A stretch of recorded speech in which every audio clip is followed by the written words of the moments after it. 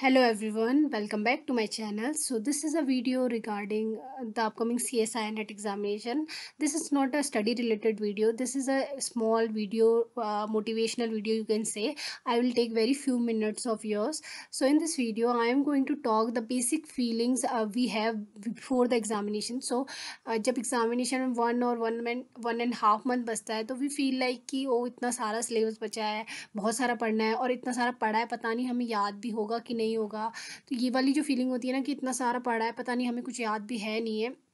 तो ये सबके साथ होती है। आइधर कोई टॉपर हो या फिर कोई कोई मीडियोकर हो या कोई भी इंसान हो, सबके जो भी प्रिपेयर कर रहा होता है, चाहे किसी भी एग्ज़ाम के लिए, चाहे सी एस आर हो, चाहे कोई और एग्ज़ाम हो, हर एस्पिरेंट को ये फीलिंग आती है कि हमने बहुत सारी चीज़ें पढ़ी है और हमें पता नहीं याद होंगी कि नहीं। बट डेफिनेटली जब आप एग्ज़ाम देंगे तो यूर ब्रेन हैव एवरीथिंग जो भी आपने पढ़ा है, हमारे माइंड में सब कुछ होता है and that time you will realise कि आपको वो चीज़ें एकदम से याद आ जाएँगी। और आप सोचेंगे, अरे, ये भी जो मुझे लग रहा था कि मुझे याद नहीं है, वो चीज़ें भी आपको उस वक्त याद आएँगी। So this is a very genuine feeling इस चीज़ को लेकर आप परेशान मत कीजिए अगर आपको ज़्यादा ही ऐसी चीज़ें नेगेटिव थॉट्स आपको परेशान करते हैं यू टेक अ पेन और copy you write then your write down your thoughts and this will help you to clear your mind and then you again start studying so this will helpful for you अगर आपको कोई negative thoughts या feelings आ रही हैं, जो भी examination से related so this is the one tip from my side and second thing I will suggest you कि जब भी आप सोएँ रात को या फिर जब भी आप सुबह उठें you just prepare one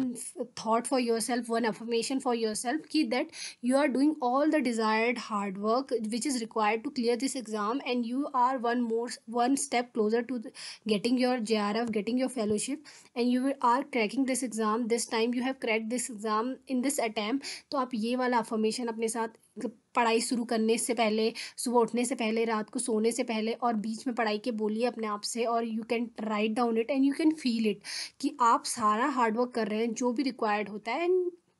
you are achieving whatever you desire तो इस तरीके से this will help you this will help you to avoid the negative thoughts and it will give you more motivation to study जिस इस चीज़ को आप practice करिए एवरी डे आपको मे बी ये थिंग स्टूपिड लग सकती है but when you will clear the exam you will definitely realise कि आपका ये पॉजिटिव थाट आपको अपनी सक्सेस की टू और जल्दी लेके गया और पावर पास लेके गया. Because when you doing the all the hard work और उसके बाद भी आप अपने आप पे सेल्फ डाउट रखेंगे नेगेटिविटी रखेंगे so this will create a hurdle when you will not believe in yourself so how will you clear something if you will believe in yourself that you have done all the desired hard work and you are uh, getting that thing तो आपको चीज़ें और आसानी से मिलेंगी so always believe in yourself and try to repeat this affirmation to yourself this will this affirmation will definitely help you और बहुत सारे टॉपर्स बहुत सारे लोगों को ये अफर्मेशन हेल्पफुल रहता है because you are doing all the hard work at the same time and you are believing it feeling it this will definitely help you this is the second tip from my side.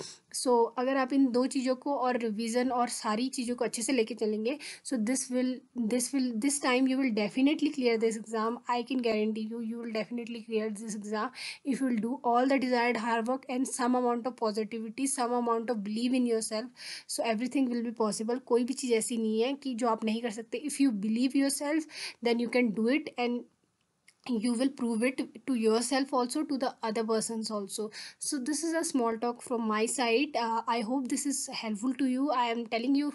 these things from my experiences. Hope this is helpful to you. If you like this video please subscribe to my channel and you can let me know in the comment section whether you like it or not.